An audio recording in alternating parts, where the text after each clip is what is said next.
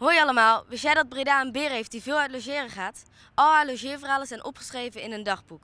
Roos logeert al 18 jaar bij heel veel kinderen. Kun je nagaan hoeveel dagboeken ze vol heeft geschreven. En weet je, nu gaat ze logeren bij wethouder Paul de Beer. Leuk hè?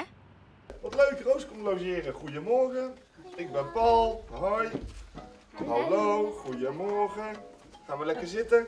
Wat vindt u ervan dat Roos de Beer komt logeren? Hartstikke leuk natuurlijk. Het is, mijn, eh, is eigenlijk mijn nichtje een beetje. Dus eh, me- ik heet ook de beer met de achternaam. Dus eh, ja, ik vind het natuurlijk wel leuk dat Roos de beer komt eh, logeren. En ik heb ook twee kleine kinderen en die vinden het ook heel leuk dat eh, Roos komt. En gaat u nog iets speciaals doen met eh, Roos de Beer, zoals cupcakes bakken of naar de bioscoop?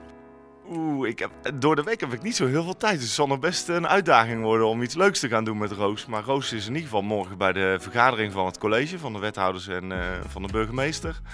En morgenavond, dan kunnen we nog wel iets leuks gaan doen met Roos. Maar dat ga ik eerst even met mijn kinderen overleggen natuurlijk.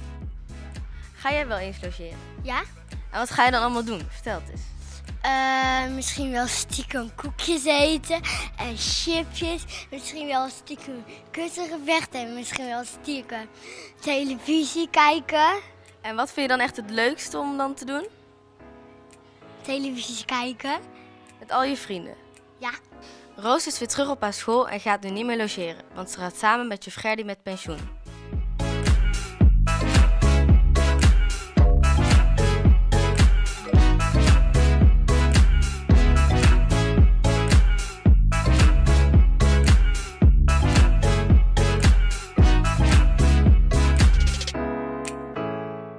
U gaat samen met Roos met pensioen. Wat vindt u daarvan? Ja, dat is een beetje eh, tweestrijdig. De ene kant vind ik het heel leuk om samen te gaan met z'n tweeën. Aan de andere kant, eh, ja, de school missen zal ik heel erg missen. Ja, Ik vind de kinderen, ik heb nog zoveel eigenlijk te doen met de kinderen. Dus eh, ja, dat is gewoon heel jammer. Was het uw idee om alle belevenissen van Roos de Beer op te schrijven in een dagboek? En zo ja, kunt u dan ook vertellen waarom? Nou, ehm, ik heb eh, toen ik een eigen klas kreeg, ben ik begonnen met een logeerbeer, een roze logeerbeer. En eh, het leek mij leuk om dat vast te leggen. Dan kunnen de kinderen het ook nog later een keertje inkijken in de klas.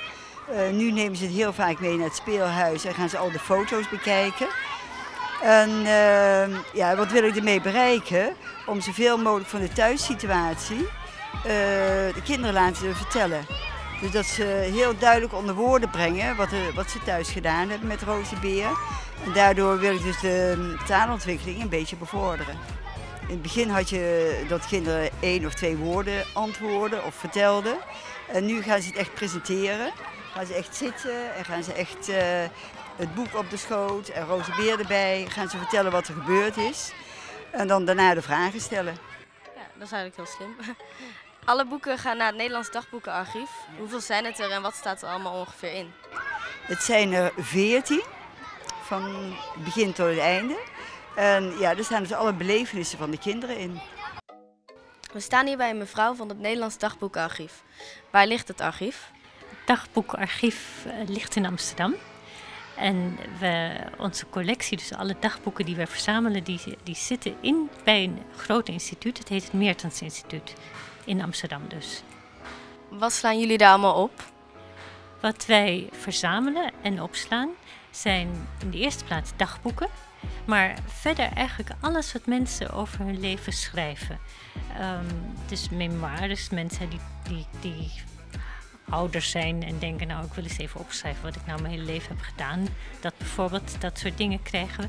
Soms nemen we ook hele brievencollecties op. Dus als mensen zeggen, nou ik heb hier 40 jaar brieven opgespaard die ik heb geschreven en die mensen mij hebben geschreven, dan nemen we die ook vaak op. Dus alles wat mensen over hun leven willen vertellen.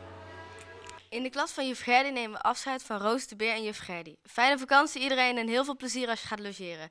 Doei! Thank